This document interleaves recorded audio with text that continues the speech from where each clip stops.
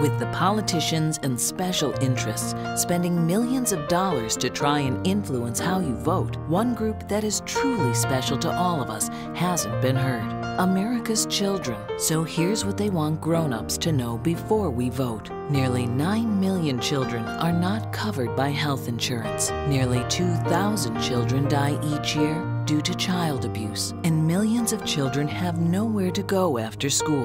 So they're left vulnerable to alcohol and drug abuse, sexual activity, and crime. With all that's going on in the world, our kids need us now more than ever. You can find out more on the web at everychildmatters.org.